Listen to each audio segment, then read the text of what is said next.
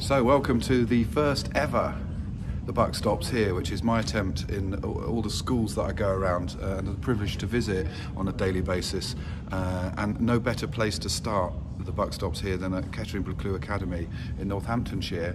Uh, this is a school that three years ago had a progress 8 of minus 0.32 and this year came in at plus 6.1 which is something else um, and I've had the privilege to, to, to, see that journey from a, from afar. Um, I'm with Dino De Salvi. Oh no, he's not even Dino De Salvi, he's Dino De Salvo. Get that right, Andy. Um, sorry about that, Dino what did, what did you focus on, Andino, when you were when you you know this is an incredible journey. How did you do it? Yeah, the, I think the three priorities for us were the, the curriculum and behaviour and getting the, the, culture of ethos. That uh -huh. we, believe here that it doesn't matter where students come from, what house, or state or what street they come in Kettering, that all students yeah. can achieve, and that culture of ambition. But behaviour was like the number one. Yeah, number one. To get, first. Yeah, we wanted to really yeah. centralise attentions. The, the academy, looking at homework, uh, behaviour and lessons. That low level disruption that really interrupts teaching and learning. Yeah. Okay.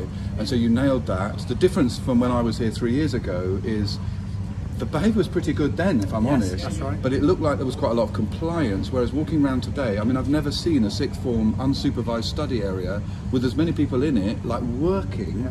like troopers. But that was in lessons as well, all through the school. How, how do you think you've got you created that because you've gone from people doing it sort of behaving because they have to, like almost it feels like they're behaving now because they want to. Yeah, we talk a lot about a culture of ambition and that of our values have been about determination, ambition. So we really speak about students that all students can achieve and that, that thirst for learning and about that it comes with that self-regulating their own behaviour and their, right. their knowledge and Great. And like we're standing right next to your values board here and I just noticed, you know, it just trips off your tongue, yeah. but there it is, respect, determination, ambition they're three of the six United Learning uh, goals, aren't they? That you've, you are really focusing on, which is which is fantastic. So I've got I've just got one other question really, because obviously my big passion is leadership.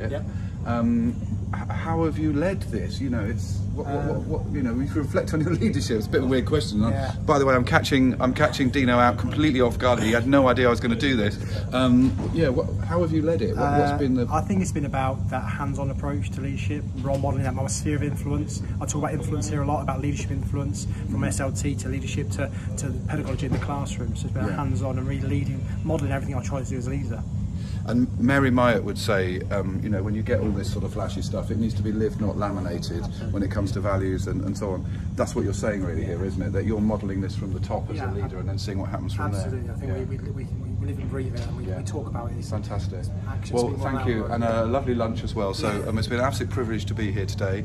Um, if you've liked this and you think I should do more of them to celebrate what we're doing, then retweet it or send me a comment or just honk.